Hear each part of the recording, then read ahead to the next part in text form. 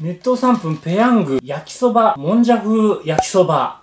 どうってこれ？焼きそばもんじゃ風焼きそば。これは尻尾で、これ尻尾の汗だとすると、うーん、も、もにゃ、もにゃまず、もんじゃについてね、世界の中心尾道市が含まれる広島県では、やっぱり一言皆さんあるんですよ。初めてね、もんじゃ焼きに出会ったのは、大学2年ぐらいの時にね、友達の家で、みやびくん知っとるけって言ってね、もんじゃ焼き食べようやっていうことでお誘い受けて、ねベビースターなんかあるじゃん。危ない危ない、これ後で入れるんだ。お好み焼きなんだなぁと思ったらね、なんかベビースターラーメンかなんかお湯で溶いてね、小学校の頃からこうやって楽しんでたんだよっていうことで教えてもらって、え、え、ざっくりとはお好み焼きみたいなもんだよって教えてもらってたんだけど、鉄板とかホットプレートの上で、とりあえず機材としてのベビースターラーメンを炒めて、ソースとかマヨネーズでぐちゃぐちゃにして食べるんだと。思い思いに友達同士でこう集まってきて、みんなが持ってきたポテチとかせんべいとかソーセージとかチーズとか、そういうのも適当に入れて、ぐちゃぐちゃにして食べるんですよ、と。そうするとね、楽しいし美味しいよっていうことでね、教えてもらったんですよ。ちっちゃいコテかなんかをね、彼はわざわざ用意して、ほんとかなこれっていうのをね、こうして食べたんですよ。お寺皆さんはね、尾道の人ですから、これはね、どんな罰ゲームなのかな。みんなはね、ビールとか飲みながらわーわーやってたんで、言ったらね、まあ、お湯でふやかしたポテチをソースにつけて食べてるような状態ですよ。まあ、おつまみだからね、みんなにとってはそれでもいいんだろうなと思ってね、見てたんですよ。ただ、寺皆さんはその当時も、まあ、そんなにはもうビールは飲まなかったから、ドクターペッパーとかチェリーコークとか飲んでたのかな？脳みその中とね、胃袋の中からね、爆発寸前のね、それだったらお好み焼きにしてくれと。まあ、そういうね、熱いものが組み上げてくるような思いはね、やっぱ隠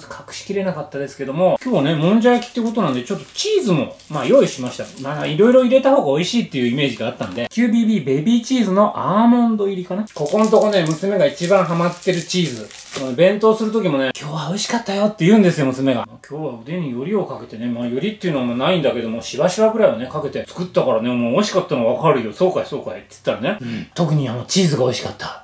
あ、そう。ちょっと、ほら、つぶつぶが見えてんのがいいよね。ちょっと本当は開けたらね、いけないよってね、鶴に言われたんですけどもね、ついつい開けてしまいましたんでね、鶴はどっかへ旅立って行ってしまうかもしれませんね。まあね、チーズの中いろんなものを入れていただくと美味しいじゃないですか。チーズの中に入ってるの、カマンベールチーズだって。チーズにチーズが入ってるからね、やおいの。しかもこうちょっと恥ずかしい感じのおへそがありますね。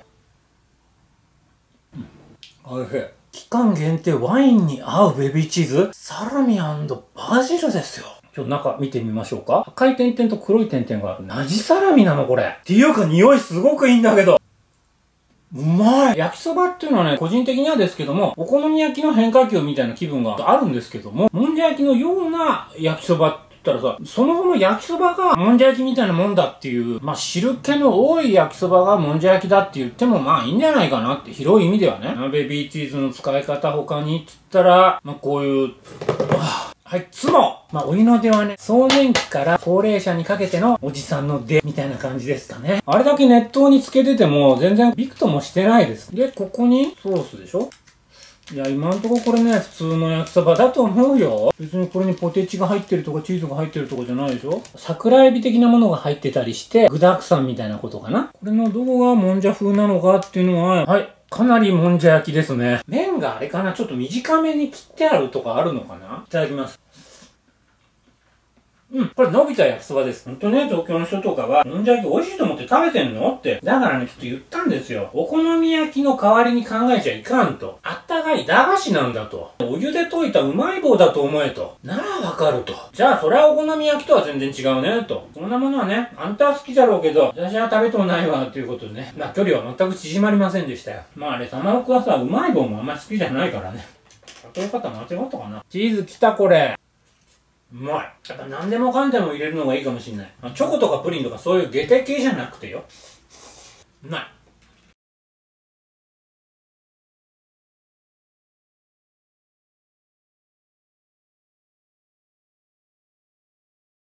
でもさ、そもそもさ、ベビーチーズってこの中入れたけど溶けるのかね？これやっぱしやりたいのは、アルプスの少女ハイジの、これをちょっと焼いてこようか。溶けるかな？